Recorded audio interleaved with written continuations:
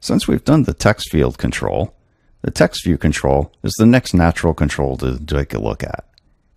The text view is essentially a multi-line text field. So I'll drag one onto our storyboard.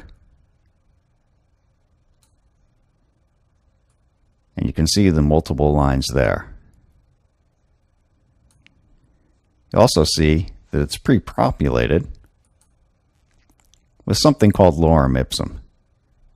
It's basically Latin. I don't speak Latin, so I don't know what it says, but it's typically used just as demonstration text because no one speaks Latin anymore. So there's our text view control. And we'd like a button.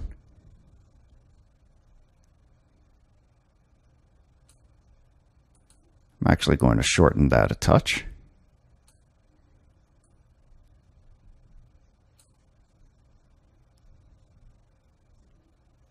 And I'm going to change the size so I can see a little bit better what I'm doing. Okay, so that's what it's going to look like. And you can see, of course, that I have a little bit of a problem. And we know how to fix that. But we'll put the label on first.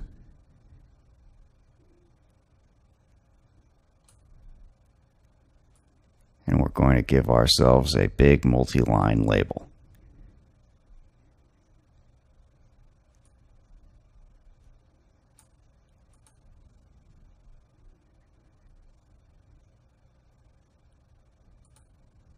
Okay, so we've got 20 lines on that label. And our problem here, our text view, is too wide, but we can fix that with our editor. We can resolve our auto layout issues, add our missing constraints,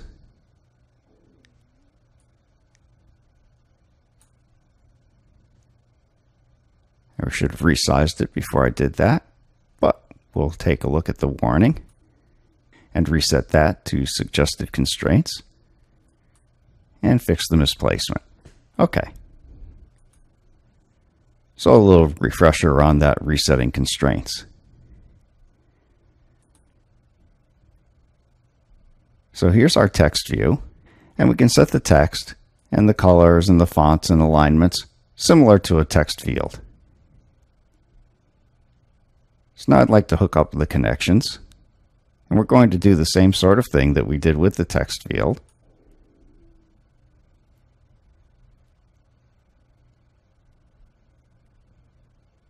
I need a referencing outlet for the text view.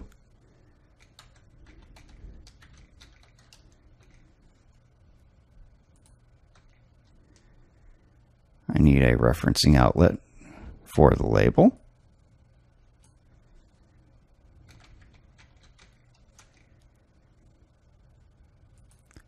and I need an action for the button.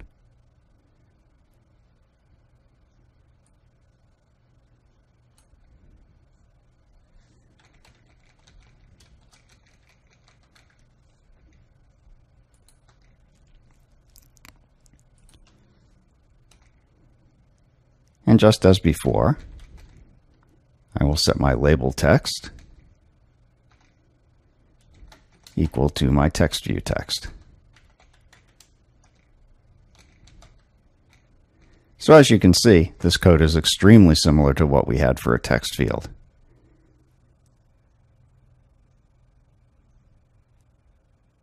I'm going to do one other thing.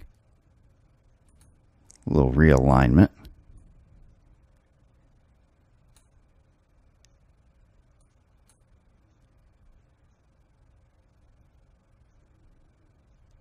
Having trouble grabbing that handle. There we go.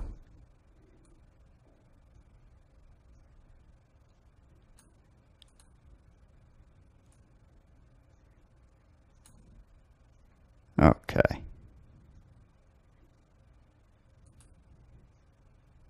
And now you can see we have multiple warnings.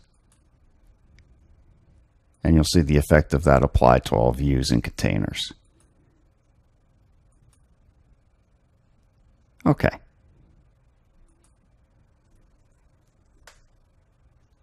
So now we're going to give this a run.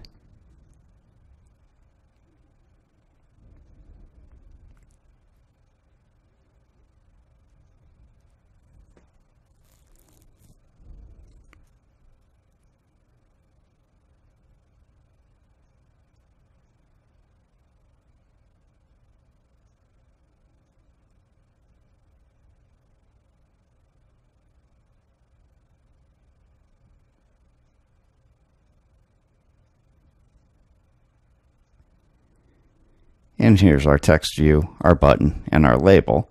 If I just click the button, you can see the label fills up.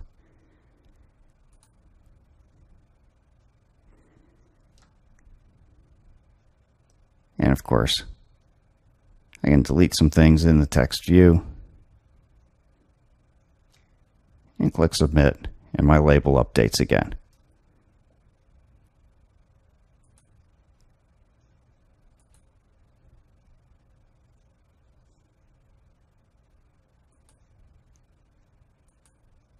Okay, great. Now there's one thing we couldn't see in there. Normally, of course, we're dealing with a simulator, but your customers, of course, have real devices, and when they tap into a text view, they're going to get a keyboard. And one of the annoying things that can happen with an application is when the keyboard covers some other control and there's no way for you to close the keyboard.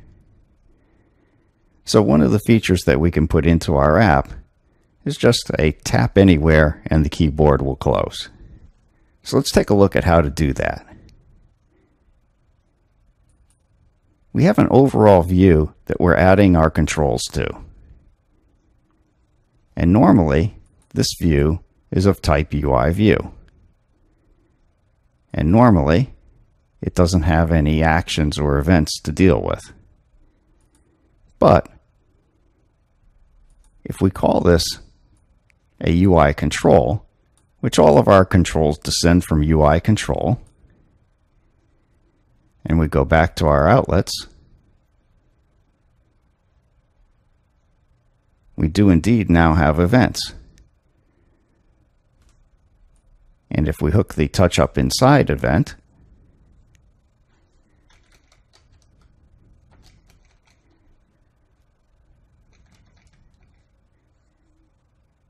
This event will occur anytime the view is touched. Now that won't include when the text field is touched or the button is touched, but it will include this area around the button or any kind of dead area.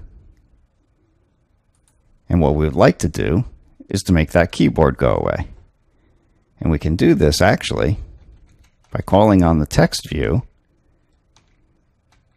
and resign first responder the first responder for the text view is the keyboard. I'm just going to put a breakpoint here to show you when the view gets called.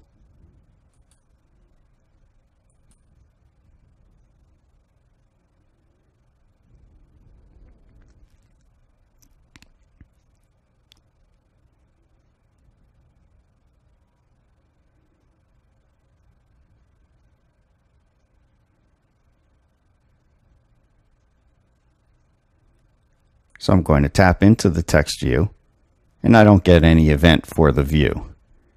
I'll tap the button. Still no event. And I'll tap the label. And now I have an event.